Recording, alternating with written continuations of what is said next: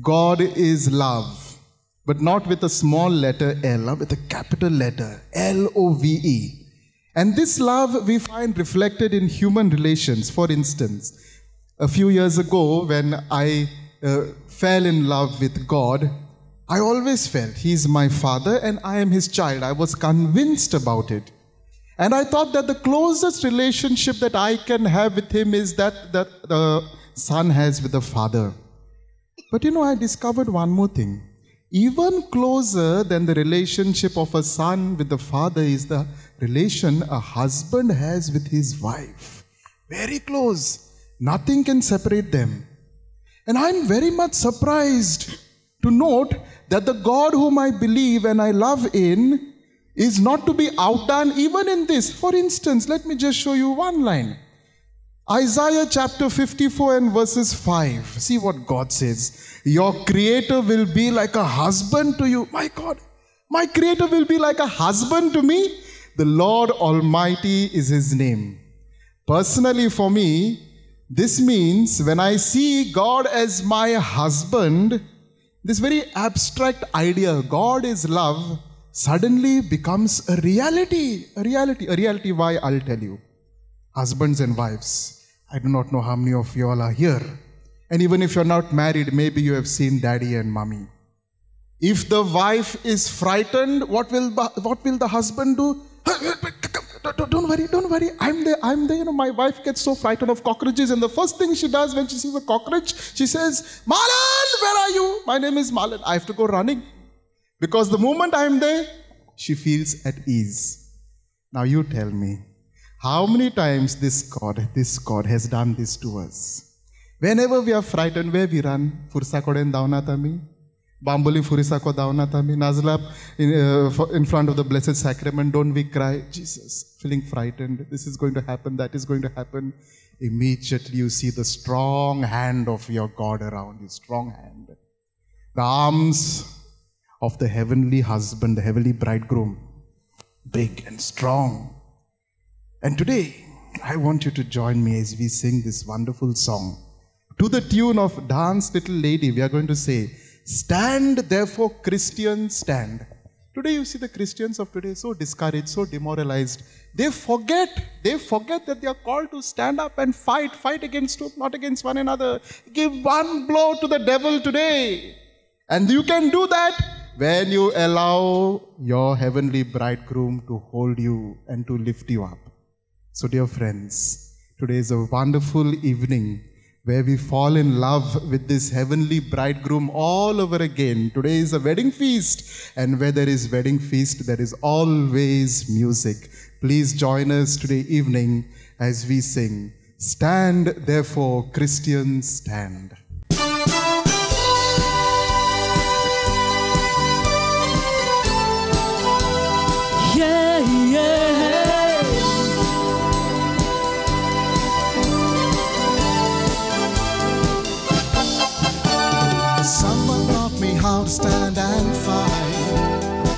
Move on, don't pause.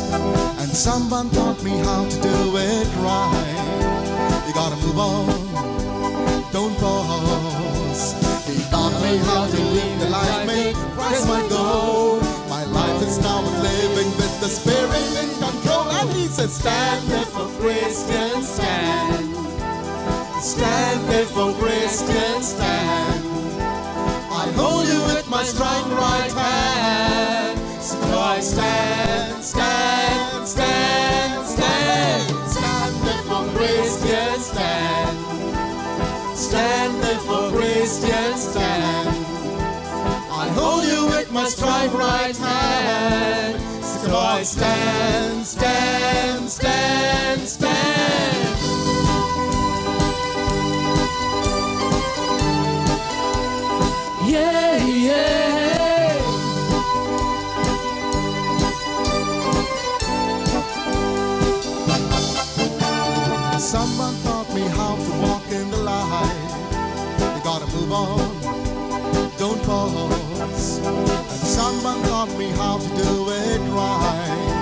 Gotta move on, don't pause. Now we fearlessly just search ahead with Christ the rock.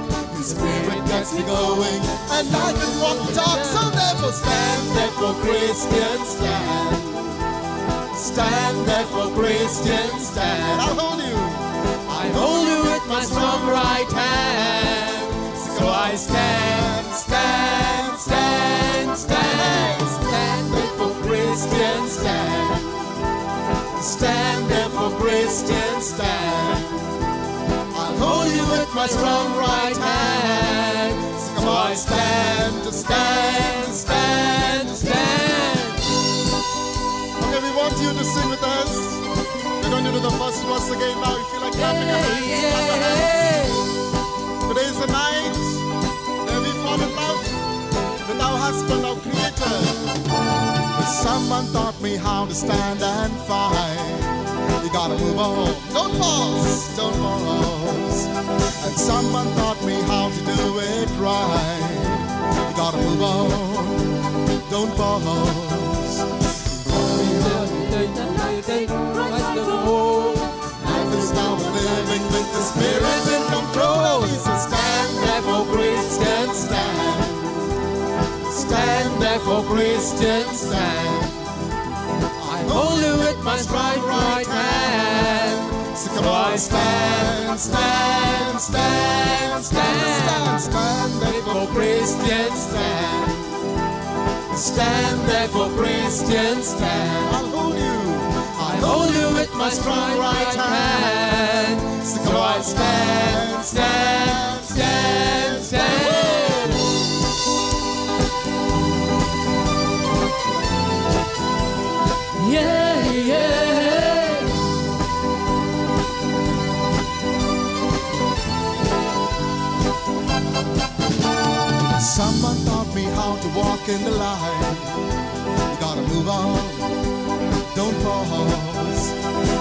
Someone taught me how to do it right. You gotta move on, don't pause. Now be fearlessly, just search ahead with Christ the rock. His spirit gets me going, and I can walk the talk. So therefore, stand there for Christian stand. Come on, sing with me, stand. Stand there for Christian stand. I hold you with my strong right hand. So I stand, stand,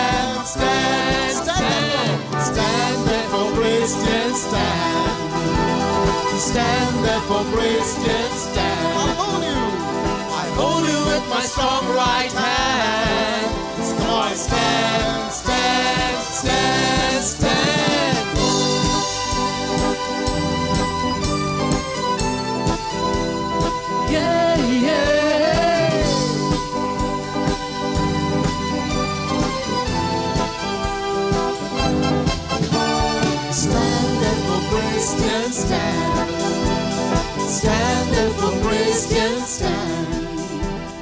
Stand there for Christian stand.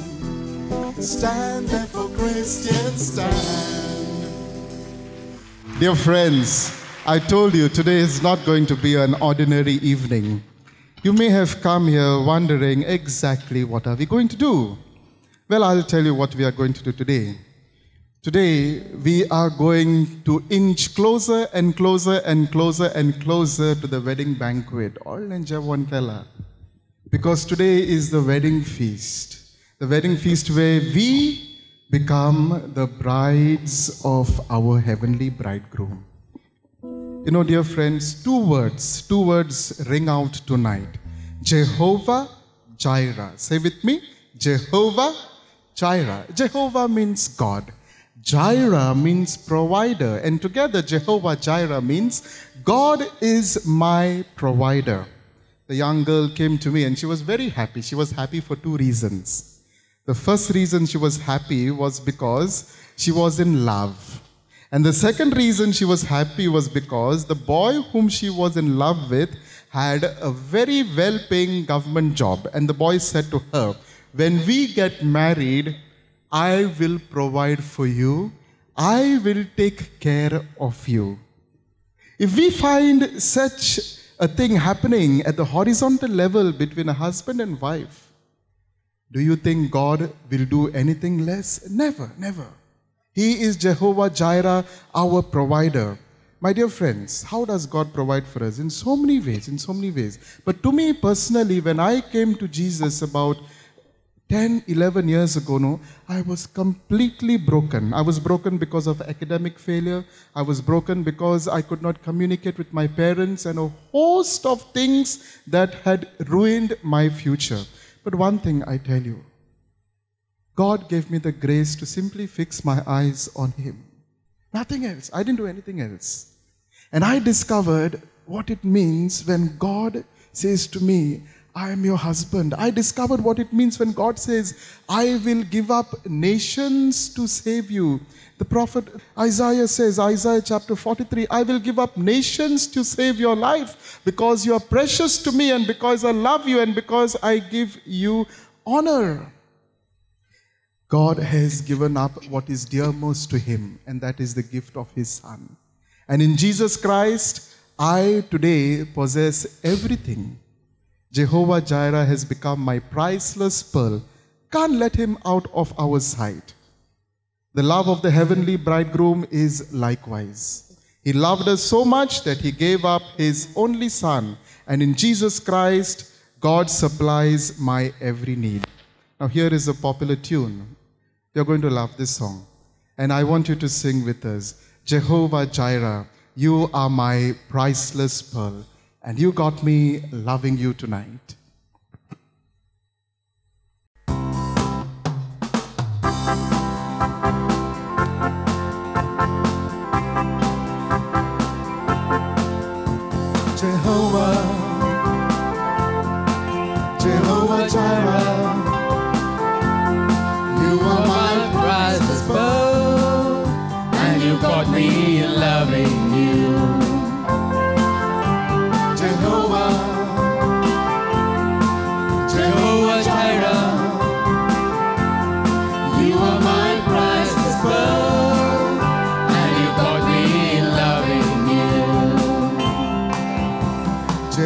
Jehovah loved the world, he sacrificed his only son. I just can't believe it's true. Took my sin and shame, restored me as a son again. I just can't believe it's true. Oh, Jehovah, Jehovah Jireh,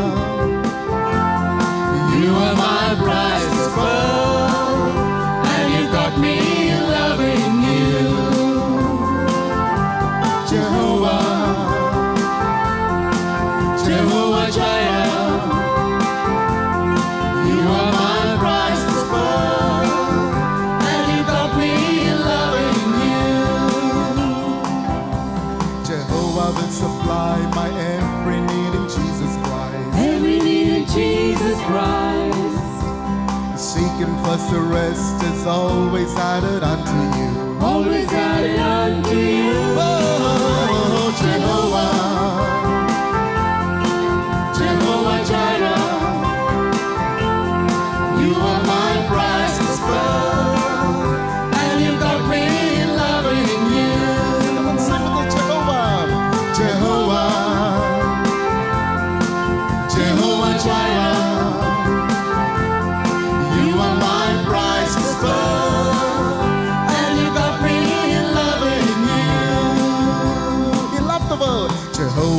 the world. He sacrificed his only son. I just can't believe it's true. Took my sin and shame, restored me as a son again. I just can't believe it's true. Oh, Jehovah, Jehovah Jireh, you are my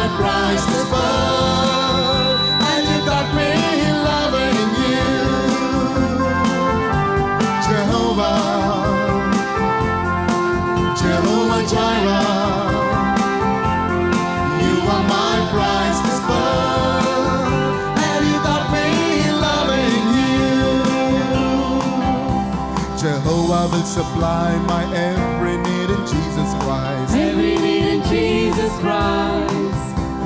Seek Him first, the rest is always added unto you.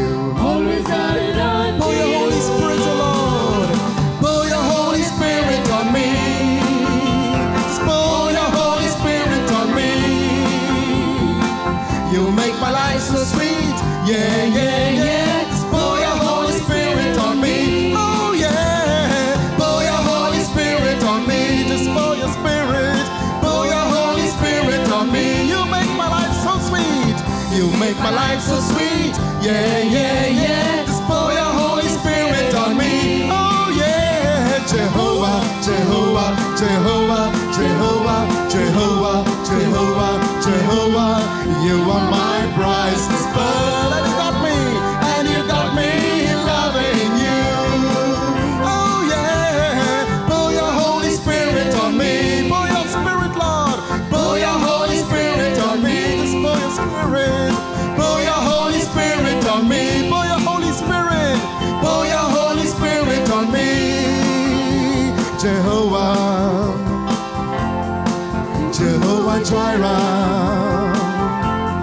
You are my priceless pearl, and you got me loving you.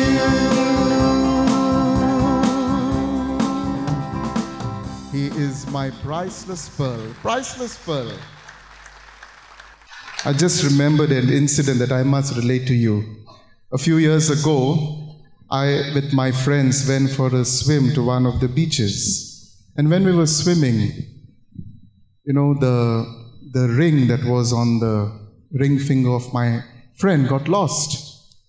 And when he came out of the water, he sat down on the rock and he was so depressed, he was so discouraged, so demoralized, to the point of falling sick. And I thought to myself, because I was not married at that time, I thought to myself, why is he making such a big deal out of this ring? But today I know.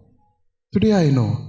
When he lost his ring, it was as if a part of his soul had got lost. Do you know something?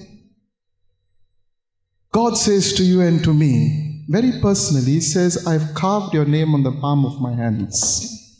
Carved your name. So that whenever I look at my palm, I see you. And whenever He does not see you, for whatever reason, like a husband who does not know where his wife is, his heart starts throbbing. He doesn't know what to do. Tears move you as much as they move me. Even the hardest of hearts are softened by the tears of a love, loved one. And there is something that God cannot bear, and that is the tears of his people. The prophet Jeremiah writes and says, and this is what God says to us Jeremiah chapter 3 and verses 20. Like an unfaithful wife, you have not been faithful to me. Like an unfaithful wife, you have not been faithful to me. And isn't that our case, dear brothers, dear sisters? So many times we are not faithful to Him, and yet see the faithfulness of our God. This woman, she was suffering from terminal cancer. She had gone to the doctors. The doctors had said there is nothing that we can do. She, lost, she had lost all hope. And I'm never tired of relating this testimony because in this I see the love of my bridegroom. She came to the Lord. She cried her heart out. What do you think the Lord did? When she returned to the doctors, the doctors looked at her scans and said, Well, we can find absolutely no trace of cancer. Now, this was 10 years ago, and this woman is there till today. Theodolinda Sapeko, praising and glorifying the Lord. Can we have a round of applause, please, for the Lord?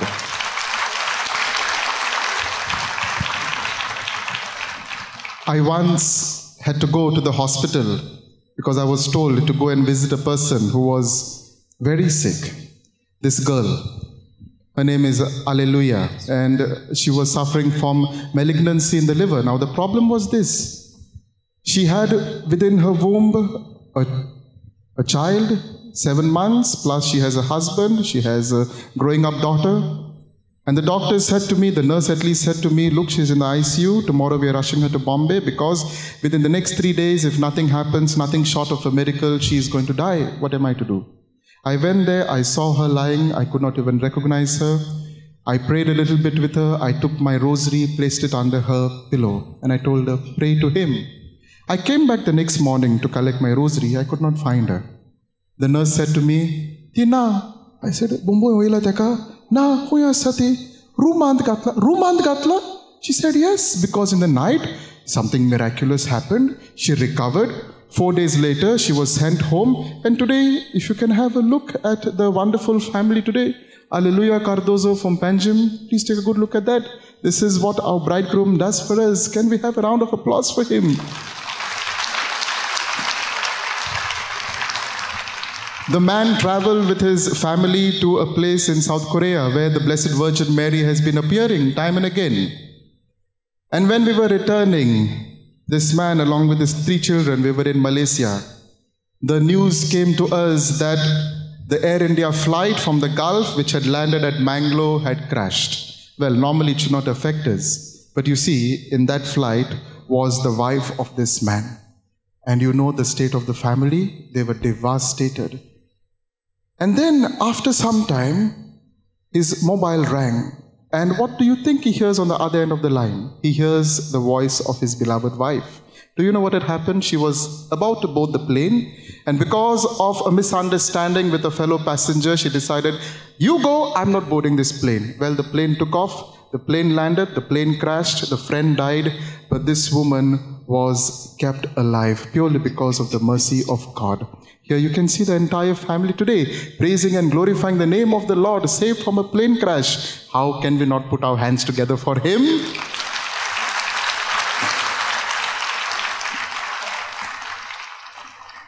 Today, God delights in us. He delights in us.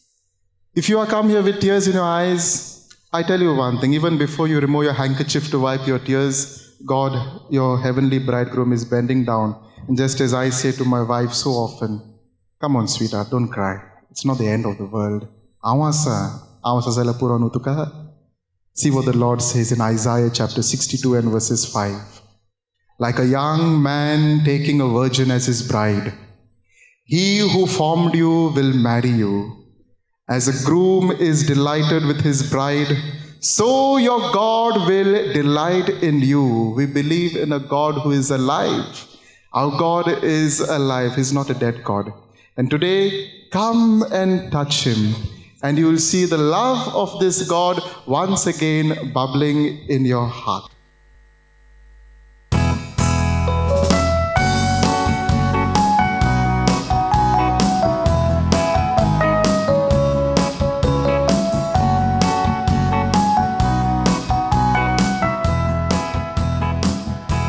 Our God is alive. We gotta believe. Our God is a God who saves us. We gotta believe. Our God is a flame, healing within. Every time lighting the fire to draw us to Him wherever we go, whatever we do, we're gonna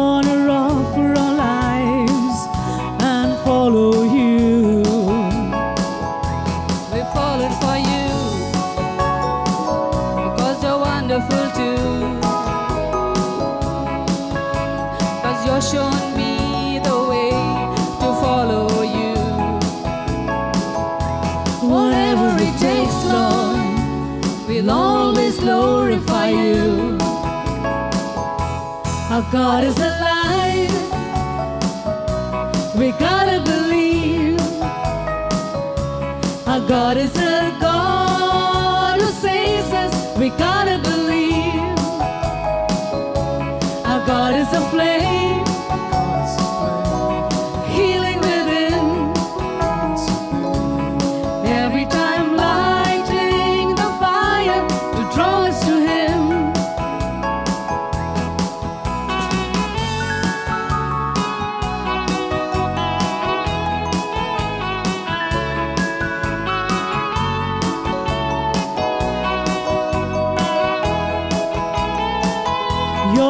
merciful God and the fairest of all.